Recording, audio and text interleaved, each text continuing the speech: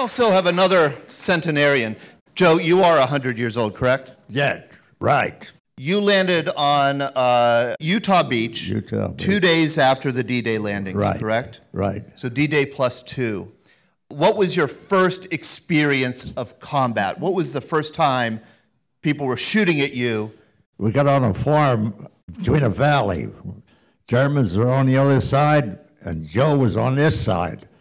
I says, "Well, I'll dig a, foxhole for myself." So I d- started digging the foxhole, and I got hit with a machine gun bullet. So that was like, how long after you landed on the beach did you get hit with a machine gun bullet?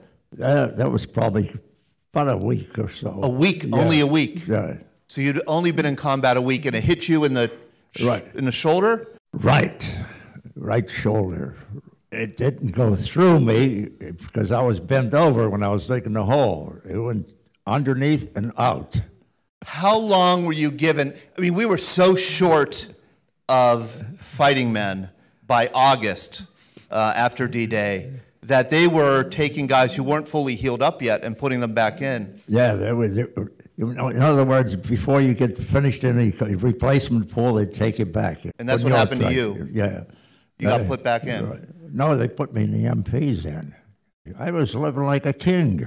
So after the, you, you were wounded a, a second time, I think with a little piece of shrapnel in your head, right? Right. And that was it. After that second time you were wounded, they gave you this great job of being an MP guarding General Patton's plane. Right. Right. Hey, living like a king, I tell you. You're living like a king. right. I mean, General Patton is considered a great general, but he wasn't like the nicest guy in the world, right? Well, I don't know. They, they, I think they built him up too much Okay.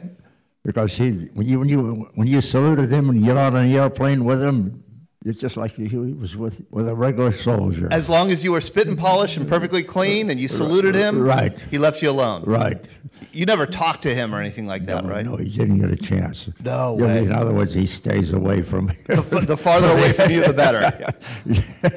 right, you are. Tell me, I'll ask you what I asked Jim. Do you remember coming back home? Coming back home, yeah, because I was in the uh, MPs then, see, and then that was a different s- story. I think you told me you came in through New York Harbor Right, and you saw the Statue of Liberty. right. What did that feel like? Does- I saluted it, I- Statue of Liberty. you saluted it. yes, sir. Oh my. Thank you, Joe Zimbicki, for coming out today. 100 Yeah, years old. yeah.